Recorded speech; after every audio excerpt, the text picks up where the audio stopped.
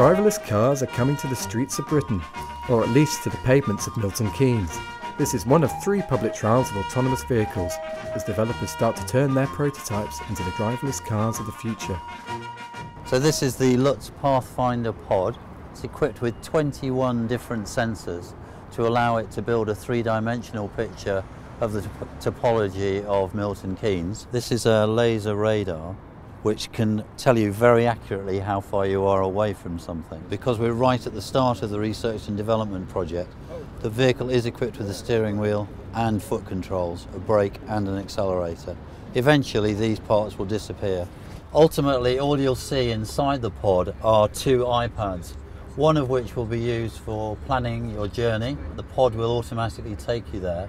The second iPad will be there for your pleasure. A different kind of autonomous vehicle will be tested on a designated route in Greenwich, London.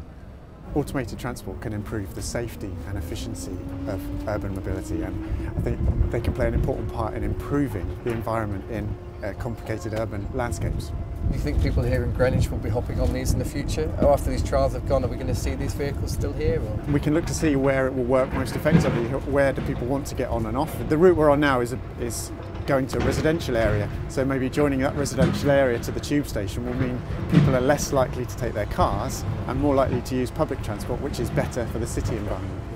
Is this the next step on the road?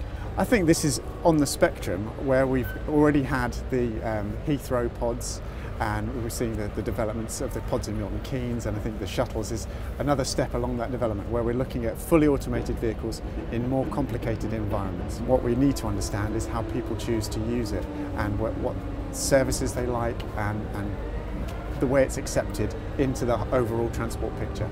Please select your destination. These prototypes will start their trial journeys in the spring, although people hoping to get their own driverless car to take from A to B must wait a little longer. That kind of technology, according to one developer, could be 10 years off. Back in the day, the boffins that actually made the cars shoved a semi into everything. Semi-autonomous steering, semi-autonomous parking, you name it. It had a semi.